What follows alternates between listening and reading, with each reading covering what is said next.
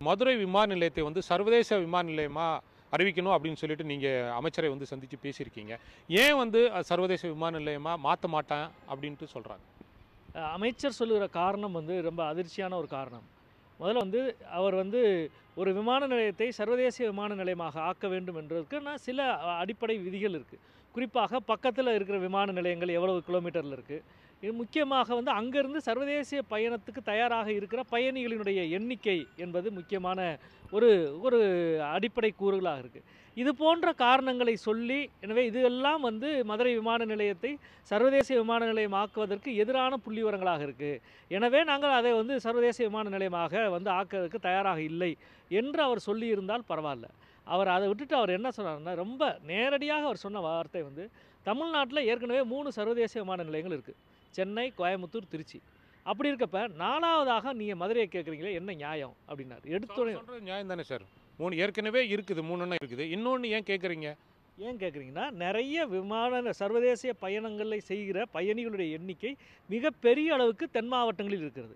அப்படி தென் மாவட்டங்களில் இருக்கிறவங்க பூரா இப்போ வந்து கோயம்புத்தூருக்கும் திருச்சிக்கும் போய் கூடுதலான பயண நேரங்களுக்கு போய் தான் வந்து பண்ணுறாங்க எனவே மதுரையை சர்வதேச விமான நிலையமாக்குவதற்கான அனைத்து தகுதியும் பொட்டன்ஷியல் அதுக்கான தேவையும் அதிகமாக இருக்கிற இடம். எனவே நாங்கள் மதுரையை சர்வதேச விமான நிலையம் ஆக்குங்கன்னு இன்றைக்கி நேற்று இல்லை தொடர்ந்து இருபது வருஷமாக தொடர்ச்சியாக சொல்லி வரோம் அவர் என்ன சொல்கிறாருன்னா வந்து ஒன்றிய அமைச்சர் வந்து பல வட மாநிலங்களில் ஒரு விமான நிலையங்கள் தான் சர்வதேச விமான நிலையங்கள் இருக்குது பல முதலமைச்சர்கள் இப்போ வந்து அஞ்சு ஆறு முதலமைச்சர்கள் என்கிட்ட வந்து பார்த்துட்டாங்க ரெண்டாவது ச சர்வதேச விமான நிலையங்கள் எங்களுக்கு தாங்கன்னு கேட்குறாங்க அவங்களுக்கு இரண்டாவது சர்வதேச விமான நிலையமே எங்கள் நாங்கள் தராமல் இருக்கப்போ மா தமிழ்நாட்டுக்கு நாலாவது சர்வதேச விமான நிலையத்தை நாங்கள் எப்படி தருவோம் அப்படின்னு கேட்குறாரு நான் சொன்னேன் வந்து நீங்கள் ரெண்டாவது கு- சர்வதேச விமான நிலையமோ மூணாவது சர்வதேச விமான நிலையமோ நீங்கள் எந்த மாநிலத்துக்கு கொடுங்க. அது எங்களுக்கு ஆட்சேபனையே கிடையாது. உண்மையில் அங்கே தேவை இருந்தால் நீங்கள் அதை கொடுங்க.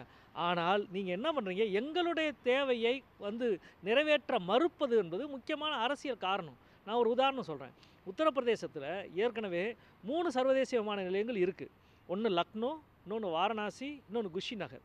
இப்போ மூணு மாதத்துக்கு முன்னாடி நொய்டாவில் ஒரு சர்வதேச விமான நிலையத்தை தோ துவக்குறீங்க அது வந்து நீங்கள் ஏற்கனவே சொல்லியிருக்கிற க- தூர இடைவெளி கிலோமீட்டருக்கும் கம்மியாக இருக்குது விதியை மீறி துவக்குறீங்க இப்போ பத்து நாளைக்கு முன்னாடி பிரதமர் அறிவிக்கிறாரு அயோத்தியில் சர்வதேச விமான நிலையத்தை ஆரம்பிக்க போகிறேன்னு பத்து நாளைக்கு முன்னாடி அறிவிக்கிறார். இது அனைத்தும் இந்த தேர்தலை மையப்படுத்தி நடக்குது. அப்போ உத்தரப்பிரதேசத்துக்கு நீங்கள் அஞ்சு சர்வதேச விமான நிலையம் அறிவிப்பீங்க. ஆனால் தமிழ்நாட்டுக்கு வந்து நாலாவது கேட்குறோம். ஆனால் வந்து கொடுக்க மாட்டேன்னு சொல்கிறீங்க அப்போ தான் இங்கே அடிப்படையில் ஒரு கேள்வி என்ன வருதுன்னா இது வந்து முழுக்க முழுக்க தமிழகத்தை தென்னகத்தை புறக்கணிக்கிற ஒரு அரசியல் நிலைப்பாட்டில் இருந்து தான் நம்முடைய எல்லா திட்டங்களையும் அவர்கள் அணுகுகிறார்கள் என்பதுதான் எங்களுடைய கருத்து. நீங்கள் வந்து தமிழ்நாட்டை எதோட க ஒப்பிடுறீங்க?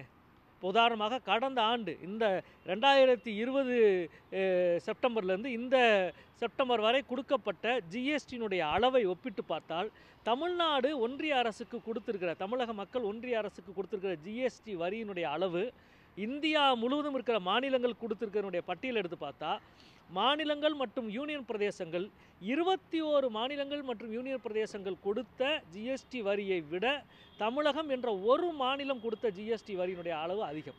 அப்படின்னா நாங்கள் வந்து நாலு கேட்குறதுக்கு இல்லை பதினாலு கேட்குறதுக்கு கூட எங்களுக்கு தகுதியும் இருக்குது உரிமையும் இருக்குது எனவே தான் நாங்கள் சொல்லுகிறோம் நீங்கள் வந்து உடனடியாக மதுரையை சர்வதேச விமான நிலையமாக அறிவியுங்கள் என்பதை நாம் சொல்லுகிறோம்.